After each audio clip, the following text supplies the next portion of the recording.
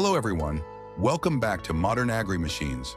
Today we are going to explore the fascinating process of growing, caring for, harvesting, and processing one of Vietnam's most iconic tropical fruits, dragon fruit. But first, let's dive into its origins, economic value, and nutritional benefits.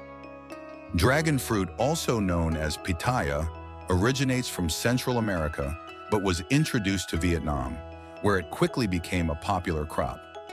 Vietnam is now one of the largest dragon fruit producers in the world, especially in provinces like Binh Thuan, Tiên Giang, and Long An.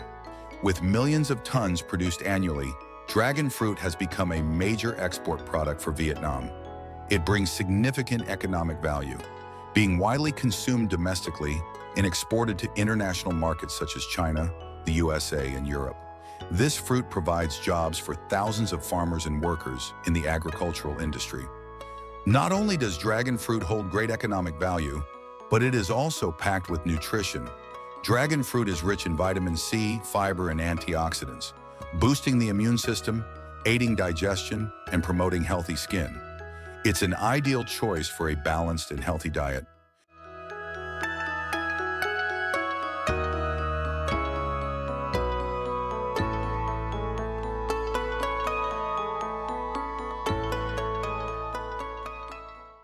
Growing dragon fruit requires careful techniques and attention. Dragon fruit is typically planted on concrete trellises, allowing the plant to grow strong and making harvesting easier. The plant thrives in tropical climates with good drainage and requires lots of sunlight to ensure high yields. Caring for dragon fruit involves regular irrigation and periodic fertilization. The plants are pruned to allow for better air and sunlight circulation which encourages strong growth and abundant fruit production. Organic fertilizers or microbial fertilizers are often used to promote sustainable and healthy plant growth.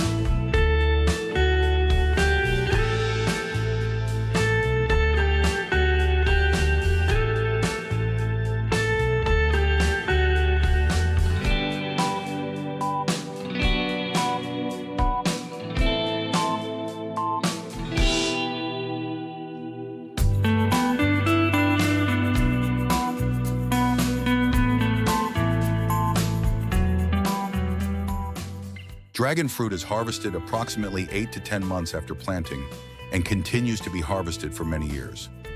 Many orchards can produce fruit for over 10 years before being replanted. Each year, the plants can produce four to six harvests, including both main and off-season crops. About 30 to 35 days after the flowers bloom, the first dragon fruits are ready for harvest. Farmers carefully use scissors to cut each fruit one by one, ensuring that the fruit is not damaged. The ripe dragon fruits are gently placed in baskets, ready for sorting and packaging. For dragon fruit, harvesting is done entirely by hand, so gathering a large quantity requires a significant amount of skilled labor to ensure the most efficient harvest.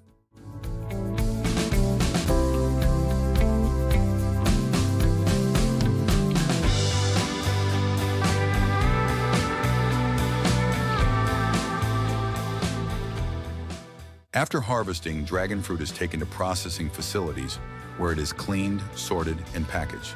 The best quality fruits are packaged for export or local consumption, while others are processed into value-added products like dragon fruit juice, dragon fruit jam, or dried dragon fruit.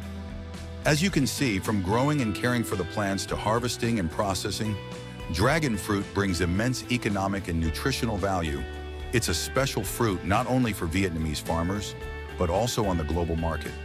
Thank you for joining us on today's Dragon Fruit Journey.